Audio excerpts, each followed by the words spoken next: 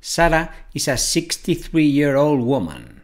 She has been feeling an itching in the area of the vulva for weeks. It's getting more and more annoying.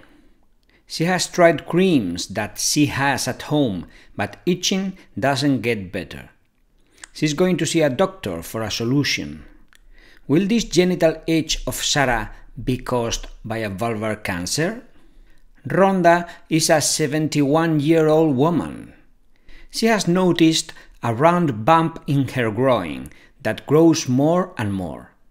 She thinks it's caused by a muscular pull she got in the area when she slept in the kitchen.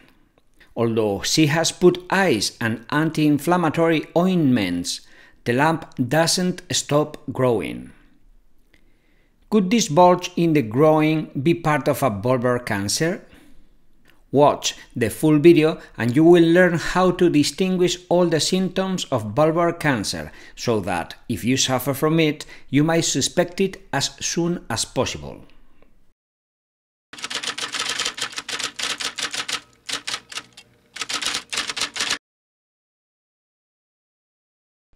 Let's discover the symptoms of vulvar cancer. This tumor is most commonly located in the labia majora. Because of this location, it is difficult for the woman to observe vulvar cancer directly, so a lesion in the area is not usually discovered until it produces symptoms. Vulvar cancer can manifest itself in several ways.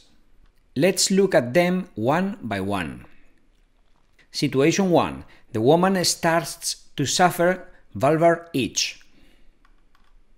The most common symptom of vulvar cancer that has not yet spread out of the vulva is itching.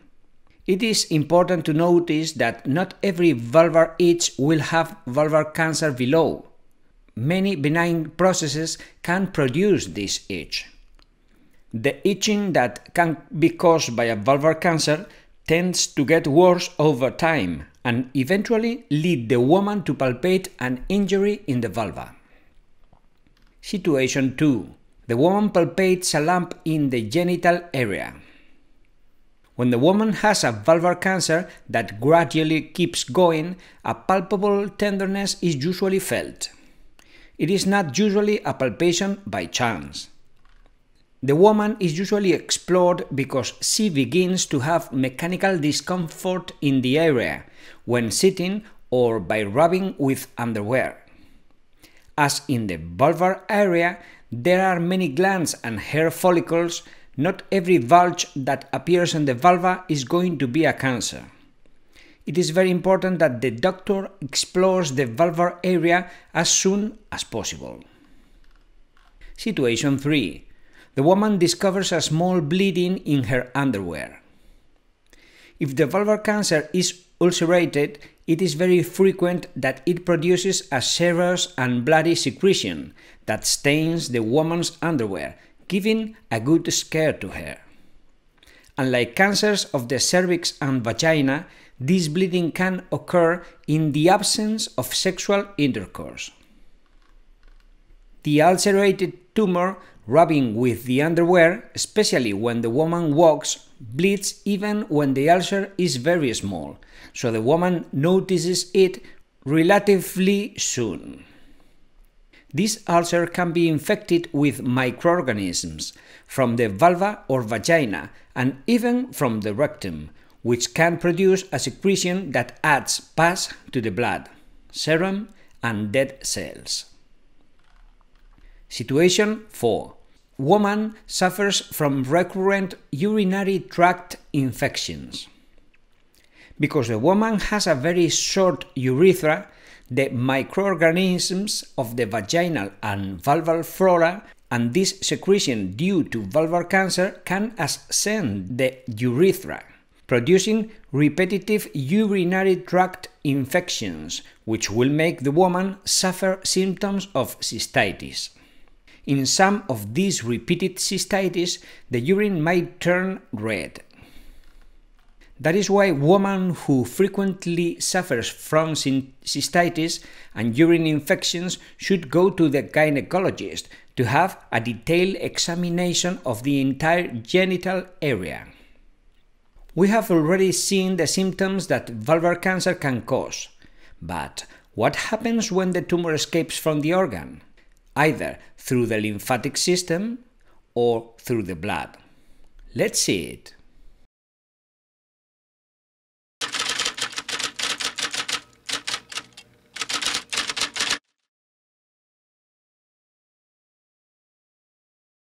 When the tumor is already outside the vulva, it may be because it has followed two different paths. The tumor escapes through the lymphatic vessels, or the tumor enters the blood. Let's see where each of these two paths leads cancer cells. Situation 1. The tumor has escaped through the lymphatic vessels. Vulvar cancer cells, when they choose the lymphatic pathway to escape through the body, usually travel first to the lymph nodes of the inguinal regions, where they can produce a palpable mass or nodule, which often frighten women and makes them go to medical consult.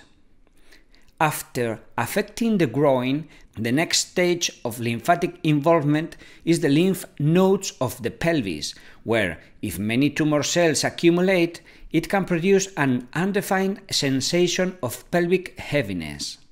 Very rarely, when there is a large involvement of the pelvic and inguinal ganglia, the rise of lymphatic fluid can be interrupted, so that these liquids remain in the leg, which will increase its thickness.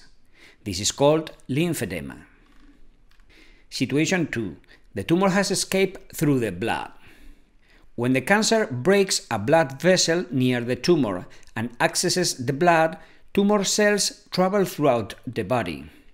In places where, due to their special conditions, they like to stay and live, these cells leave the blood vessel and settle down, growing and multiplying. In the case of vulvar cancer, the most frequent sites where metastases appear are in the lungs, in the liver, and in the bones. Metastases in the lungs. When tumor cells stay inside the lungs, they often form separate groups with the onset of multiple metastases, which will grow gradually. If they override the function of the lung, they can cause shortness of breath, a symptom called dyspnea. If they touch a respiratory tube, the bronchi or their branches, they will irritate them, producing a very annoying dry cough, which is very difficult to alleviate. If they are placed near a blood vessel, they can break it, spreading some blood with the cough. Metastasis in the liver. When the vulvar cancer cells settle in the liver, they begin to grow disorderly and begin to crush liver cells.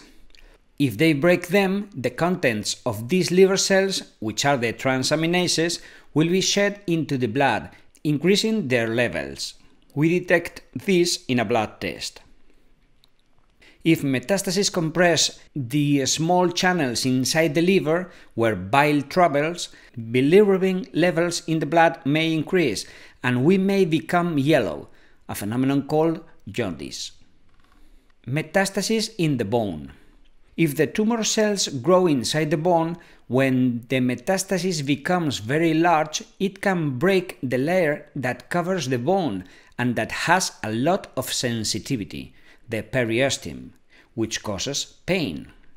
This growth compromises the strength of the bone, and especially if it is a bone that has to carry weight, it can break. A specific case of bone metastasis occurs when the vertebrae are affected.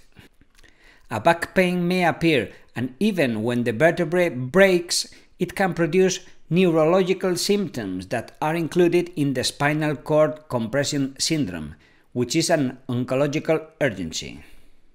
As you can see, vulvar cancer can lead to many signs and symptoms. Let's summarize them.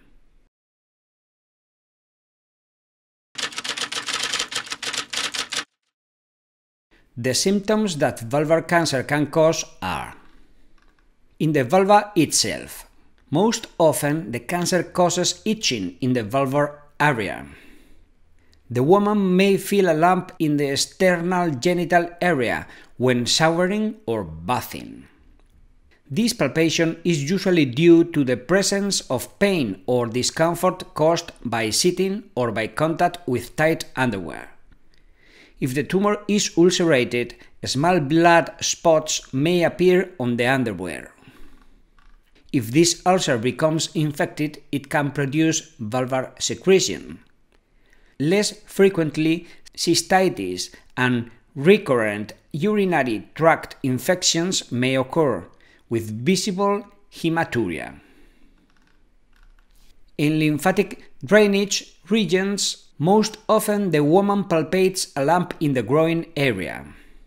She can also refer heaviness in the pelvis if it's full of tumor cells in her lymph nodes. Less often, lymphedema of one or both legs will appear. In the rest of the body, if vulvar cancer cells have spread through the blood, the most frequent symptoms are cough, hemoptysis, or dyspnea if the metastases are located in the lungs, increased transaminases or jaundice if the liver is affected, or bone pain or fractures if there is bone involvement.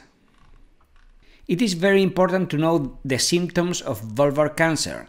Do not forget to carry out the early diagnostic tests of this tumor that your doctor prescribes you. And get used to exploring the area with the help of a mirror if you don't have anyone at home who can help you in this task. Detecting vulvar cancer as soon as possible is the best way to beat it.